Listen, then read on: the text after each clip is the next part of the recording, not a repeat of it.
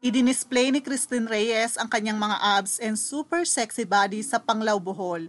Ito'y habang nagbabakasyon sila ng kanyang boyfriend na si Marco Gumabaw. Sa latest IG post ni Christine ay pinusuan ng napakaraming netizens ang mga sexy photo niya in a two-piece bikini habang nasa isang beach resort sa Bohol. Sa isa pang ang larawan ay makikita pa ang kanyang abs.